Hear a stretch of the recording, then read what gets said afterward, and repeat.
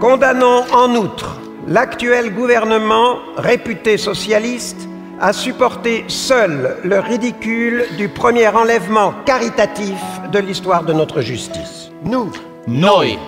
magistrats bénévoles, magistrati volontari, constitués en tribunal provisoire, costituiti in tribunale provvisorio, avons procédé à l'arrestation du dénommé Georges Lapieta,